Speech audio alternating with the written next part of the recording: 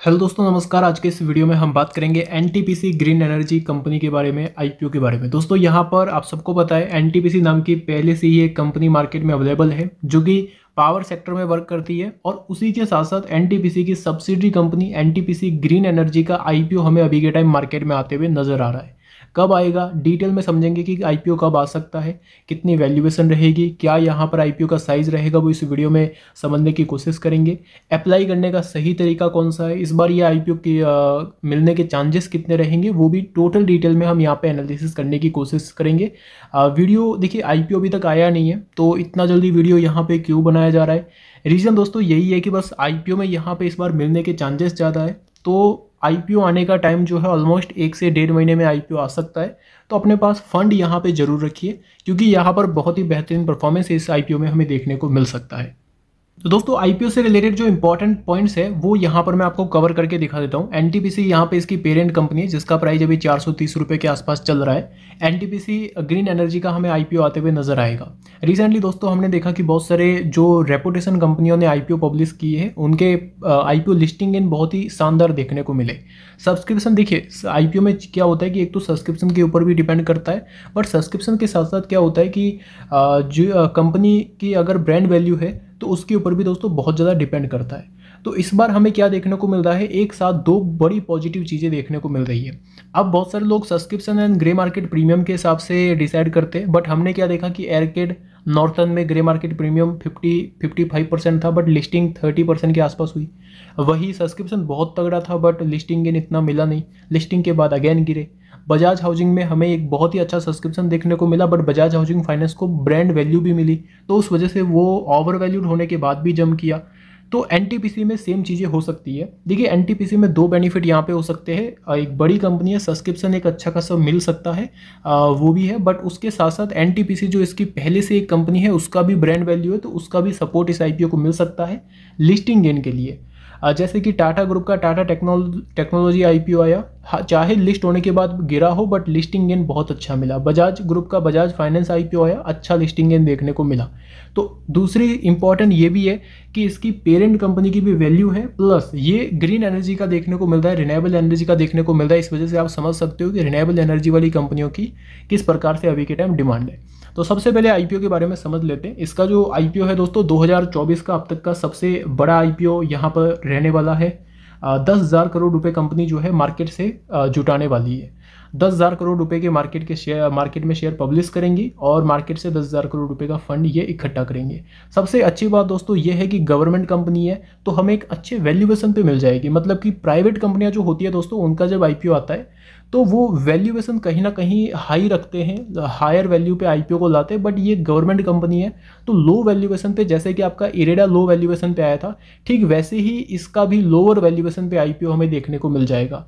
L C की बात दोस्तों, यहाँ पर ये जो है दूसरा बड़ा पी यू देखने को मिल रहा है 2022 में एलआईसी का आईपीओ आया था, वो इससे बड़ा था बट अब ये दूसरा बड़ा आईपीओ है जो दस हज़ार करोड़ रुपये से मार्केट मार्केट से जुटाने वाले अगर फाइनेंशियल परफॉर्मेंस दोस्तों देखा जाए तो एन का जो रिनेबल एनर्जी में टोटल अभी तक का जो रेवेन्यू है एनुअल जो रेवेन्यू है वो ऑलमोस्ट हमें देखने को मिलता है 2000 करोड़ का, जिसमें वित्त वर्ष 2024 में 47 परसेंट तक की ग्रोथ देखने को मिली है।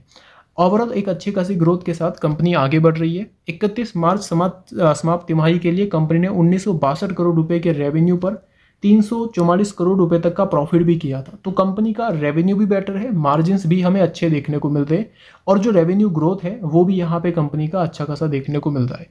कंपनी का यहाँ पे टोटल जो शुद्ध रन है डेप्ट है, अगर वो बात करूँ तो यहाँ पे आपको देखने को मिलेगा बारह करोड़ का। और उसी के साथ साथ नगद की बात की जाए तो कंपनी के पास 115 करोड़ रुपए का नगद भी हमें देखने को मिल रहा है गोल्डमैन की तरफ़ से यहाँ पर क्या कहना है? गोल्डमैन की तरफ़ से ये कहना है कि इसका जो प्रॉफिट है कंपनी का एनटीपीसी ग्रीन का, जो ग्रोथ है, वो एकदम अनुमान के अनुरूप है बेटर देखने को मिल रहा है, चीज़ें सारी जो है वो अच्छी है। एनटीपीसी ग्रीन एनर्जी का जो भी ये आईपीओ आएगा तो एनटीपीसी की एनटीपीसी जो कंपनी है, उसकी एनटीपीसी ग्रीन एनर्जी में तेरह परसेंट हिस्सेदारी जो है वो हमें आ, कम होते हुए देखने को मिलेगी एंड तेरह परसेंट हिस्सेदारी के बदले ही ये सारी चीज़ें हमें होते हुए देखने को मिलने वाली है जो आईपीओ जो है तेरह परसेंट शेयर ही कहीं ना कहीं मार्केट में ये जो है लाने वाले हैं। आईपीओ का समय कौन सा हो सकता है? अब देखिए अभी तक डेट यहाँ पे निकल के नहीं आई है बट मेजर जो आ, हमें जो डेट सामने निकल के आते हुए नज़र आ रही है जो भी बड़ी बड़ी रिसर्च फर्म जो डेट ला रही है वो यहाँ पे निकल के आ रही है नवंबर। आईपीओ जो है वो यहाँ पे नवंबर में आ सकता है। हमारे पास नॉर्मली वन मंथ का टाइम है पैसे इकट्ठे करने का। तो नवंबर में हमें यहाँ पर एनटीपीसी का आईपीओ जो है वो आने की उम्मीद है। निधि उपयोग। अब देखिए, यहाँ पर नॉर्मली कंपनी दस हज़ार करोड़ का फंड रेज करेगी तो वो फंड यूज़ कहाँ पे करेगी? आईपीओ अप्लाई कैसे करना है? क्या इंपॉर्टेंट पॉइंट रहेंगे, वो भी मैं आपको बता दूँगा। अब देखिए, सबसे इंपॉर्टेंट चीज़ ये है कि एनटीपीसी ग्रीन एनर्जी के एक एक स्टॉक सॉरी एनटीपीसी कंपनी का एक एक स्टॉक आप लेके रख लीजिए, ताकि आप शेयर होल्डिंग कोटा में आ जाए। Share hold share holding quota के लिए एलिजिबल हो जाए। कंपनी यहाँ पे सात हज़ार पाँच सौ करोड़ रुपए का जो है अपना डेट क्लियर करेगी। दस हज़ार करोड़ रुपए जो फंड रेजिंग होगा, उसमें से सात हज़ार पाँच सौ डेट क्लियर करेगी। दो हज़ार पाँच सौ करोड़ का अपना यहाँ पर अपने बिज़नेस में लगाने की कोशिश करेगी। अब इंपॉर्टेंट चीज़ दोस्तों यहाँ पे निकल के आ जाती है कि क्या आप एनटीपीसी के शेयर धारक है? अगर आप एनटीपीसी का शेयर खरीद लेते हैं एनटीपीसी का स्टॉक कौन सा आप गूगल पे सर्च कर लेना, अपने डीमेट में सर्च कर लेना। एनटीपीसी का शेयर अभी आ जाएगा आपका चार सौ के आसपास चल रहा है, उसका नॉर्मली एक स्टॉक खरीद के रख लीजिए। ये खरीद के क्यों रखना है? क्योंकि अगर आप एक स्टॉक खरीदेंगे तो एनटीपीसी के शेयर होल्डर्स में आ जाएँगे, और जब आप एनटीपीसी ग्रीन एनर्जी का आई अप्लाई करेंगे तो वहाँ पे एक शेयर होल्डर्स का ऑप्शन आएगा तो वहाँ पे आप अप्लाई कर सकते हो ईजिली वहाँ पे मिलने के चांसेस भी थोड़े से बढ़ जाएँगे क्योंकि आप फिर एक ही अकाउंट से रिटेल प्लस शेयर होल्डिंग में दोनों में यहाँ पे अप्लाई कर सकते हो। अगर आप यहाँ पे शेयर होल्डर्स बनते हो एनटीपीसी के तो क्या होगा कि रिटेल प्लस शेयर होल्डर्स दोनों में यहाँ पे एक ही डीमेट से आप अप्लाई कर सकते हो। तो चांसेस थोड़े से आपके और बढ़ जाते हैं और उसी के साथ साथ यहाँ पे एन जो है वो दोस्तों यहाँ पे ग्रीन एनर्जी में वर्क करती है। अभी के टाइम जो कंपनी की कैपेसिटी है, वो टोटल यहाँ पर जो है कि बीस गीगावाट तक की कैपेसिटी है। दो हज़ार तीस सॉरी अभी के टाइम जो कंपनी की कैपेसिटी है, वो यहाँ पे तीन गीगावाट है। दो हज़ार सत्ताईस तक ट्वेंटी गीगावाट कैपेसिटी करने का टारगेट है। दो हज़ार बत्तीस तक साठ गीगावाट की कैपेसिटी जो है, वो ये ले जाने वाले हैं। जो कि बहुत ही अच्छी बात है। एक, अगर कंपनी आती है तो फुल स्पीड से कंपनी यहाँ से ग्रो कर सकती है। तो इसके ऊपर भी आपको ध्यान रखना है। तो देखिए दोस्तों सबसे पहले अपना काम क्या करना है हमें कि शेयर होल्डर्स में यहाँ पर शेयर होल्डर्स के लिए एलिजिबल होने के लिए एनटीपीसी कंपनी का एक एक स्टॉक लेके रखना है। उसके लिए हम शेयर होल्डर्स में एलिजिबल हो जाएँगे। शेयर होल्डर कैटेगरी में अप्लाई करने के लिए एलिजिबल हो जाएँगे जब भी कंपनी का आईपीओ आएगा। नवंबर में कहीं ना कहीं हमें आईपीओ आते हुए नज़र आ जाएगा। तो इसमें आ, क्या चांसेस रहेंगे कि हमें ये आई मिल सकता है? देखिए जो छोटी कंपनियाँ होती है जो सौ दो करोड़ पाँच सौ करोड़ हज़ार करोड़ इकट्ठे करती है उसमें चांस थोड़े कम रहते हैं। ये बड़ी कंपनी है दस करोड़ रुपये का फंड इकट्ठा करेगी तो इसमें चांस थोड़े से इंक्रीज हो सकते हैं। क्योंकि रिसेंटली हमने देखा कि इरेडा का आईपीओ आया था इरेडा का आईपीओ बहुत अच्छा रिस्पांस दिया लिस्टिंग गेन भी बेटर मिला और लिस्टिंग गेन के बाद भी स्टॉक जो है कंटिन्यू अच्छा भागा और ये भी रिन्यूएबल एनर्जी में फाइनेंस का काम करने वाली कंपनी थी। और दूसरी इंपॉर्टेंट ये भी चीज़ है कि उस समय जिस टाइम ये आईपीओ आया था, उस टाइम सभी पीएसयू स्टॉक्स हमें रॉकेट बनते हुए नज़र आ रहे थे। तो इस कंपनी ने कितना फंड रेज किया? इस कंपनी ने दोस्तों यहाँ पर जो है ऑलमोस्ट इक्कीस करोड़ के आसपास का फंड रेज किया, जहाँ पे रिटेल सब्सक्रिप्शन सिर्फ़ seven eight percent eight times ही हुआ। मतलब कि आठ लोगों में से एक लोग को अलॉटमेंट मिल गया। तो अब यहाँ पे ये आईपीओ आपका कितने करोड़ का आ रहा है? ये आईपीओ आ रहा है आपका दस हज़ार करोड़ का। तो इस बार कहीं ना कहीं जो रिटेल्स में यहाँ पर ज़्यादा सब्सक्रिप्शन देखने को नहीं मिल सकता है। क्योंकि रिटेल इन्वेस्टर नॉर्मली अगर लगाते हैं इरेडा में भी इन्होंने 2100 करोड़ में सेवन टाइम ही सब्सक्रिप्शन किया था।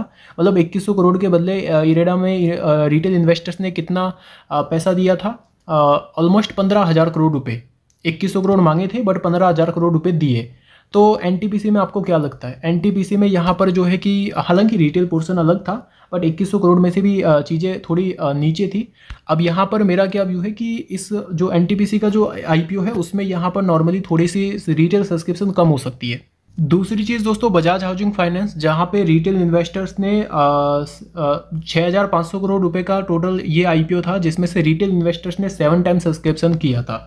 अब देखिए, इस, ये आईपीओ आपका दस हज़ार करोड़ का होने वाला है। तो जिसमें यहाँ पर मेरे हिसाब से कहीं ना कहीं रिटेल सब्सक्रिप्शन जो है फाइव टाइम तक देखने को मिल सकता है।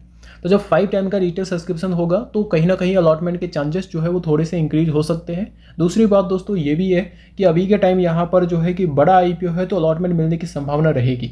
शेयर होल्डिंग कोटा रहेगा आपके पास तो आप एक ही डीमेट अकाउंट से रिटेल कैटेगरी में भी अप्लाई कर सकते हैं प्लस शेयर होल्डिंग कोटा में भी आप अप्लाई कर सकते हैं, जो कि दोनों चीज़ें मतलब दोनों आपके लिए बेनिफिट रह सकती है। तो शेयर होल्डिंग या रिटेल में अगर होता है तो ऐसे में यहाँ पर क्या होगा कि दोनों में से एक में मिलने के आपके चांसेस जो है थोड़े से इंक्रीज हो सकते हैं। तो इस बार अलॉटमेंट मिलने की संभावना जो है थोड़ी सी हमें ज़्यादा देखने को मिल सकती है, क्योंकि अगर मान लो कि four time and five time अगर सब्सक्रिप्शन होता है तो ऐसे में यहाँ पे हर पाँच से चार एप्लीकेशंस में आपको एक व्यक्ति को अलॉटमेंट कहीं ना कहीं हमें मिलते हुए नज़र आएगा। तो इस आईपीओ के ऊपर नज़र रखिए। नॉर्मली ये जब आईपीओ आएगा तब मैं डिटेल में भी एनालिसिस करके बता दूँगा।